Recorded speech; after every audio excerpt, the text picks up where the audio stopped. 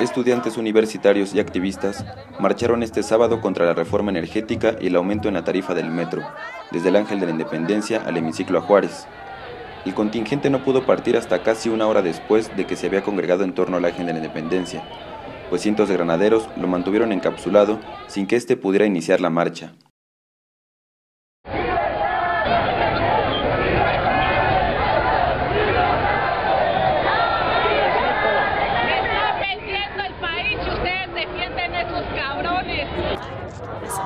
Después de negociaciones entre los manifestantes y autoridades capitalinas, el cuerpo policial les permitió marchar sobre el Paseo de la Reforma hasta el hemiciclo a Juárez.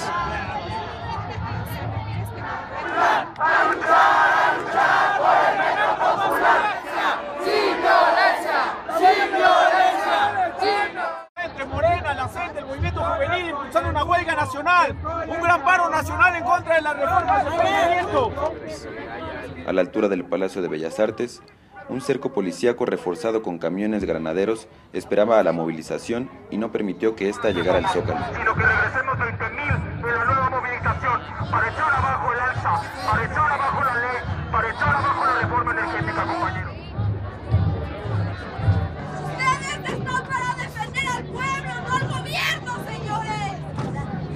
Después de momentos de tensión, puesto que sectores de los manifestantes insistían en abrir el perímetro policíaco y continuar la marcha, los organizadores concluyeron la protesta, convocaron a una nueva movilización el próximo sábado y llamaron a continuar las protestas contra el alza en la tarifa en estaciones del metro.